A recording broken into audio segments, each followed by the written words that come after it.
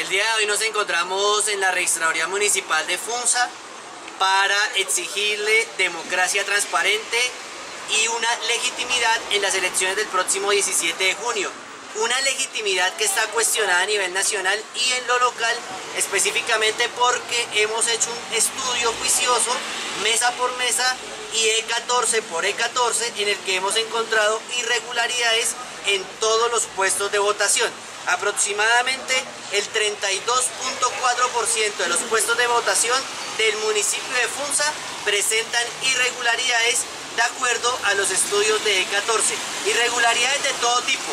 Ya varias, varias personas han visto cómo a nivel nacional en los E14 donde aparecen los guiones aparecen números en favor de candidatos particulares candidatos de la corrupción, de la Alianza Santista Uribista por la corrupción.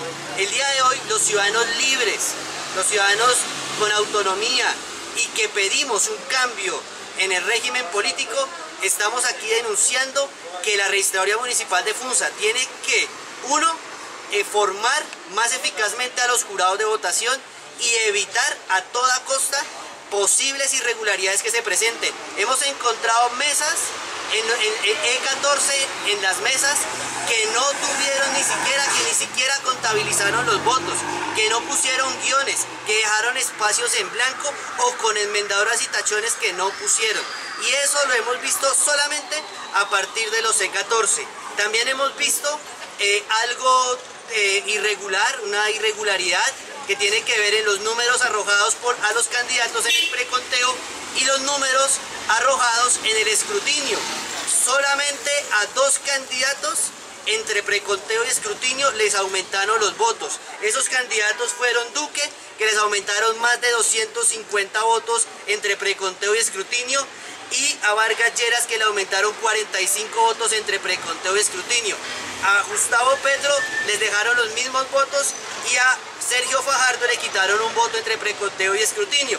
Entonces hemos revisado todos estos, todos estos antecedentes.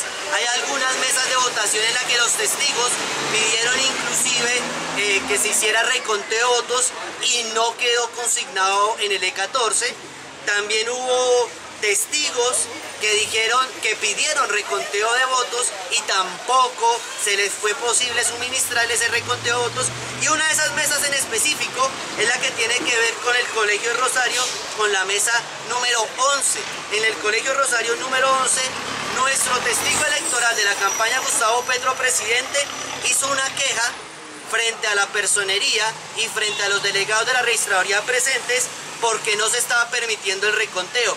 Y en ese formulario de 14 vimos una novedad que ustedes lo van a poder ver ahí en el video, en la cual el guion para Iván Duque, el primer guion para Iván Duque, se lo cambiaron por un 9 contabilizando 98 votos, cuando de acuerdo a la testigo, nuestra testigo electoral era inicialmente de 18 votos. Y así, hay más irregularidades. Entonces, FUNSA no se escapa de la corrupción politiquera y por eso le estamos diciendo, el próximo 17 de junio, sumarse con muchos ojos, sobre las mesas de votación. Necesitamos más testigos y necesitamos más, más, movimiento. Aquí vemos unas cuantas personas de la ciudadanía libre, 10.200 personas en FUSA que se manifestaron en favor de Gustavo Petro.